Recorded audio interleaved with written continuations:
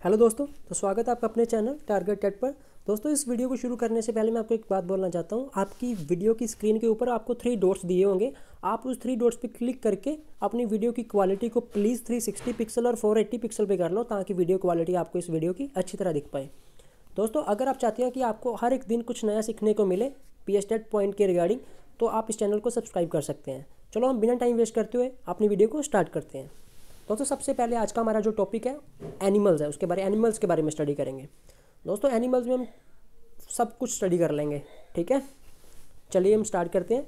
Basically animals दोस्तों, दुनिया की हर एक जगह में पाए जाते हैं। Found all over the world दुनिया के किसी भी किनारे पे चल जाओ, हर एक जगह से आपको मिलेंगे। यानी कि आप ओशन के डीप पे डीप से लेकर हाईएस्ट माउंटेन तक जहाँ मर्ज़ी चल जाओ, आपको एनिमल तो ज़रूर मिलेंगे ही मिलेंगे। दोस्तों, कुछ एनिमल्स होते हैं जो पानी में पाए जाते हैं, कुछ होते हैं लैंड में रहते हैं। कई ऐसे भी होते हैं जो लैंड पे भी रहते हैं एंड वाटर पे भी रहते हैं। दोस्तों, जैसे हमको फ़ूड चाहिए, पानी चाहिए, रहने के लिए घर चाहिए सिमिलरली एनिमल्स को भी फ़ूड चाहिए वाटर चाहिए एंड शेल्टर चाहिए। हम सब कुछ अच्छी तरह स्टडी करेंगे। सबसे पहले दोस्तों, हम बेसिकली एनिमल को छः पार्ट में डिवाइड करते हैं। कितने ग्रुप बनाते हैं हम एनिमल्स के बेसिकली सिक्स ग्रुप बनाते हैं। First one is mammal second one is birds third one is insect and next one is reptiles another one is amphibian and next one is fishes दोस्तों, मैं आपको सारा कुछ अच्छे तरीके से समझा के करवाऊँगा ट्रिक विद ट्रिक से कोशिश करूँगा कि आपको मैं याद करवा दूँ। अगर आप सीधा स्क्रीनशॉट ले लोगे तो आई एम नॉट रिस्पॉन्सिबल कि आपको समझ लगेगा या नहीं लगेगा, ठीक है दोस्तों? तो मैं उम्मीद करता हूँ कि आप इस वीडियो को लास्ट तक देखना। आई एम श्योर कि मैं आपका टाइम वेस्ट नहीं करूँगा। आपको कुछ ना कुछ सिखाने के लिए ज़रूर सिखा के जाऊँगा यहाँ पे, ठीक है दोस्तों? आगे मूव करते हैं। सबसे पहले हम बात करते हैं आपको इतना पता लगे कि हम एनिमल को कितने पार्ट्स में ब्रेक डाउन करते हैं? सिक्स पार्ट्स में, ठीक है? मैमल्स बेसिकली कौन से होते हैं जिसमें काउ आ जाता है डॉग्स आ जाते हैं ह्यूमन बींग्स आ जाते हैं? इसे हम बोलते हैं मैमल्स ठीक है? फर्दर हम इसको डिटेल में स्टडी करेंगे। बर्ड्स पता है आपको? इंसेक्ट कीड़े मकोड़े आ जाएँगे। रेप्टाइल्स लाइक लिजर्ड होगी, यानी कि छिपकली एंड फ्रॉग्स होगी। फ्रॉग भी इसमें आ जाती है ग्लैरी होगी, ठीक है दोस्तों? एम्फीबियन एम्फीबियंस कौन होते हैं? एक ऐसे एनिमल जो प्लांट जो लैंड पे भी रहते हैं एंड वाटर पे भी रहते हैं, ठीक है? फॉर एग्जांपल क्रोकोडाइल क्रोकोडाइल एक ऐसा एनिमल है जो एम्फीबियन है। एम्फीबियन मीन्स वो लैंड पे भी रह सकता है एंड पानी में भी रह सकता है। फिशिस फिशिस आपको पता है, ये पानी में रहती हैं। हम फर्दर इनके बारे में डिटेल स्टडी करेंगे। फ़िलहाल आपको इतना पता होना चाहिए कि हम एनिमल्स कितने ग्रुप बनाते हैं। सिक्स ग्रुप बनाते हैं। नेक्स्ट हम मूव करते हैं दोस्तों। हमने एनिमल को डिवाइड कर दिया on the basis of body structure on the basis of body structure basically होता the basis of body structure animal दो तरह के होते हैं. एक होते हैं वर्टिब्रेट्स नेक्स्ट होते हैं इनवर्टिब्रेट्स वर्टिब्रेट्स दोस्तों वो वाले होते हैं जिनकी बैकबोन होती है. लाइक ह्यूमन बींग हो गए मेमल्स हो गए, सारे बर्ड्स हो गए, सारे फिशेज हो गए, सारे एम्फीबियंस हो गए. इनकी बैकबोन होती है. लाइक like क्रोकोडाइल हो गया, इसकी बैकबोन होती है. फ़िश उसकी बैकबोन होती है. बर्ड्स की बैकबोन होती है. एंड ह्यूमन बींग की भी बैकबोन होती है. हमने दोस्तों एनिमल की दो दुनिया बांट दी. एक ऐसे एनिमल एक दुनिया में ऐसे एनिमल रहते हैं जिनकी बैकबोन होती है. और एक ऐसे एनिमल जिनकी बैकबोन नहीं होती, जिनकी बैकबोन होती है, उसे हम बोलते हैं वर्टिब्रेट्स और इसमें कौन से एनिमल आ जाते हैं? Mammals birds fish and amphibians another हमने एक दुनिया बसाई जिसमें रहते हैं इनवर्टिब्रेट्स इनवर्टिब्रेट्स का मतलब जिसमें कीड़े मकोड़े आ जाएँगे मॉस्किटो आ जाएगी स्टार फ़िश आ जाएगी स्नेल्स आ जाएँगे एक्सेट्रा नेक्स्ट हम दोस्तों मूव करते हैं बेस्ड ऑन अडेप्टेशन अडेप्टेशन का मतलब वो रहते कहाँ पे उनका हैबिटेट कैसा है? हैबिटेट दोस्तों बेसिकली क्या होता है? जहाँ पे एनिमल्स रहते हैं, ठीक है? हैबिटेट मतलब कुछ ऐसे हैं जो पानी में रहते हैं, कुछ ऐसे हैं जो लैंड में रहते हैं, कुछ ऐसे हैं जो ठंडे इलाके में रहते हैं, कुछ ऐसे हैं जो गर्म इलाके में रहते हैं। उनका हैबिटेट बेस होता है, उसे बोलते हैं अडेप्टेशन दोस्तों on the basis of adaptation हमने एनिमल की चार दुनिया बांट दी।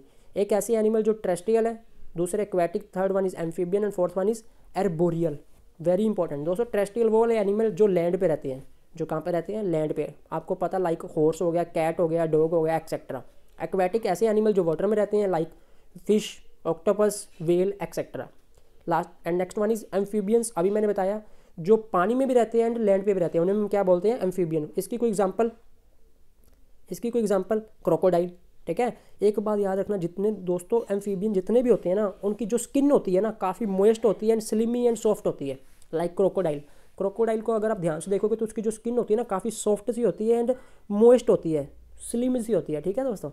एंड नेक्स्ट हम बात करते हैं एरबोरियल एरबोरियल दोस्तों बेसिकली क्या होती है, ऐसे एनिमल जो ट्री पे रहते हैं, जो कहाँ पे रहते हैं ट्री पे लाइक मंकी हो गया पैरट हो गया एक्सेट्रा जो पेड़ पे रहते हैं, उसे हम बोलते हैं एरबोरियल। ठीक है दोस्तों? दोस्तों, मैं आपके पी एस टेट के पॉइंट के रिगार्डिंग ही सब कुछ कराऊँगा, ना ज़्यादा मैं बिल्कुल वाश करूँगा काम को, ना ही ज़्यादा, बिल्कुल लो लेवल पे कराऊँगा, बिल्कुल टू द पॉइंट चलेंगे हम। दोस्तों नेक्स्ट हम मूव करते हैं। बेस्ड ऑन बॉडी टेम्परेचर हमने बेस्ड ऑन बॉडी टेम्परेचर भी एनिमल्स को दो दुनिया में बांट दिया। फ़र्स्ट वो वाले एनिमल जो अपने अंदर से हीट जनरेट करते हैं। दोस्तों, आपको पता होगा, जो हमारी ह्यूमन बॉडी का टेम्परेचर नॉर्मल टेम्परेचर होता है ना, वो थर्टी सेवन डिग्री सेल्सियस होता है। कितना कितना होता है? थर्टी सेवन डिग्री सेल्सियस अगर मैं आपको फारनाइट स्केल में बताऊँ तो वो होता है ninety eight point six degree Fahrenheit अगर आपको कैलविन स्केल में बताऊँ तो वो होता है थ्री हंड्रेड टेन कैलविन अगर आपको नहीं पता तो आप प्लीज़ याद कर लेना इसको। ये ह्यूमन बॉडी का नॉर्मल टेम्परेचर है। दोस्तों, इस नॉर्मल टेम्परेचर का मतलब क्या है? इसका मतलब ये है कि हमारी बॉडी के अंदर जितने भी बायोलॉजिकल रिएक्शंस होती हैं, जितने भी हमारी बॉडी में इंजाइम्स हैं, जो हमारे डाइजेशन चल रहा है रेस्पिरेशन चल रहा है एक्सक्रीशन चल रही है सर्कुलेटरी चल रही है, वो किसके कारण चल रही है? बेसिकली इंजाइम्स एक्ट करते हैं, तभी तो हमारे ये सारे ऑर्गन सिस्टम चल रहे हैं। दोस्तों बेसिकली 37 डिग्री सेल्सियस पे जितने भी हमारे इंजाइम्स होते हैं, वो इस टेम्परेचर पे एक्टिवेट रहते हैं। बाई चांस हमारी बॉडी का टेम्परेचर मान लो 37 से ज़्यादा हो गया लाइक 40 हो गया, या 37 से कम हो गया लाइक 34 हो गया। तो इस टेम्परेचर पे क्या होगा हमारे जो इंजाइम्स है वो प्रॉपर वर्क नहीं करेंगे। अगर प्रॉपर वर्क नहीं करेंगे तो हमारी बॉडी के सही तरह ऑर्गन सिस्टम भी काम नहीं कर पाएँगे। इसलिए दोस्तों प्रॉब्लम होने लगती है बॉडी में डिसीजेज आने लगती है। सो so, हमें नेसेसरी है कि हमारी बॉडी का टेम्परेचर हमेशा कितना रहे। थर्टी सेवन डिग्री सेल्सियस रहना ज़रूरी है। थर्टी सेवन ये भी फिक्स नहीं है अभी थर्टी सेवन ही रहे। Thirty six point thirty six से थर्टी एट बेसिकली रेंज होती है इसकी ठीक है दोस्तों? थर्टी सिक्स से थर्टी एट रेंज होती है। बस आपको इतना याद रखना कि मेनली थर्टी सेवन ही माना जाता है। ठीक है? अब क्या होता है कि जब सर्दी होती है, ठीक है? जब सर्दी होती है तो हमारी बॉडी क्या करती है? अंदर से हीट जनरेट करने लगती है। हम बाहर, ऐसे तो नहीं लेते अगर सर्दी आ गई तो हम अपना शहर छोड़ के गर्म इलाके में चले जाते हैं, राजस्थान में चले जाते हैं, ऐसा तो कुछ भी नहीं होता। हमारी बॉडी क्या करती है? अंदर से हीट जनरेट शुरू कर देती है। ठीक है दोस्तों? ऐसे एनिमल्स ऐसे मैमल्स जो अपनी बॉडी के अंदर से हीट जनरेट करते हैं, अपनी बॉडी का टेम्परेचर मेंटेन करने के लिए, उसे हम बोलते हैं वार्म ब्लडेड एनिमल्स क्या बोलते हैं? Warm blooded animals like human being कौन है? वाम ब्लडेड है। क्यों है वाम ब्लडेड है? बिकॉज़ ह्यूमन बींग क्या करता है? अपने बॉडी टेम्परेचर को मेंटेन करने के लिए अपने अंदर से हीट जनरेट करता है। उसे हम बोलते हैं वाम ब्लडेड एनिमल दोस्तों अनदर कैटेगरी होती है कोल्ड ब्लडेड एनिमल की। कोल्ड ब्लडेड एनिमल ऐसे एनिमल होते हैं जो अपने अंदर से हीट जनरेट नहीं करते। वो क्या करते हैं? मान लो, अगर तो वो सर्दी को झेल नहीं पाते ना तो वो गर्म इलाके में शिफ्ट हो जाते हैं। स्लिप स्लिपिंग मोड में चले जाते हैं। यानी कि अगर मान लो ऐसा कोई इंसेक्ट है जो सर्दी में नहीं रह सकता, ठीक है? वो क्यों नहीं रह सकता? बिकॉज़ उसके अंदर से हीट जनरेट नहीं होती। वो क्या करता है वो क्या करता है? सर्दी में सोने लग जाता है। सिर्फ़ सोता है सर, सर्दी में। ऐसे भी नहीं वो एरिया शिफ्ट कर जाता है। किसी और जगह में शिफ्ट हो जाता है। यानी कि वो विंटर स्लीपिंग में रहता है, ठीक है? एंड कुछ ऐसे होते हैं जो गर्मी को झेल नहीं पाते। फिर वो क्या करते हैं? गर्मी में स्लीपिंग मोड में चले जाते हैं, ठीक है? तो उन्हें हम बोलते बोलते हैं क्लोड कोल्ड ब्लडेड एनिमल्स यानी कि ऐसे एनिमल होते हैं जो अपने अंदर से हीट जनरेट नहीं कर पाते। तो फिर क्या करते हैं? अगर अंदर से हीट जनरेट नहीं कर पाते, सर्दी में अगर इनको प्रॉब्लम होगी तो ये गर्म इलाके में शिफ्ट हो जाएँगे, वहाँ पे सो जाएँगे। अगर इनको गर्मी में प्रॉब्लम होगी तो ठंडे इलाके में शिफ्ट हो जाएँगे, वहाँ पे स्लीपिंग मोड में रहते हैं। Like fishes frogs insect amphibian etcetera आ जाते हैं दोस्तों इसमें। ठीक है? आपको पता होना चाहिए ह्यूमन मैमल्स एंड बर्ड्स क्या है? वाम ब्लडेड है। ठीक है? आई होप आपको अंडरस्टैंड हो रहा होगा। आगे मूव करते हैं। दोस्तों नेक्स्ट रिप्रोडक्शन इन एनिमल्स दोस्तों रिप्रोडक्शन इन एनिमल दो तरीके से हो सकती है। मतलब दो पार्ट्स में मैंने डिवाइड किया। एक तो ऐसे एनिमल जो एग देते हैं और एक ऐसे एनिमल जो बर्थ देते हैं यंग वंस को। लाइक ह्यूमन बींग हो गया। हम बर्थ देते हैं। एंड जो दूसरा पार्ट ऐसा है कि जो एग देते हैं, ठीक है? बेसिकली दोस्तों, अगर मैं आपको एक जनरल सी बात बताऊँ ना, जो एनिमल एग देते हैं जनरली एक आपको बता रहा हूँ, ज़्यादातर उनके क्या होते हैं? ईयर नहीं होते, ठीक है? उनके आउटसाइड द बॉडी ईयर नहीं होंगे उसे हम, इसमें कौन सी आ जाएँगे अगर मैं आपको बात बताऊँ?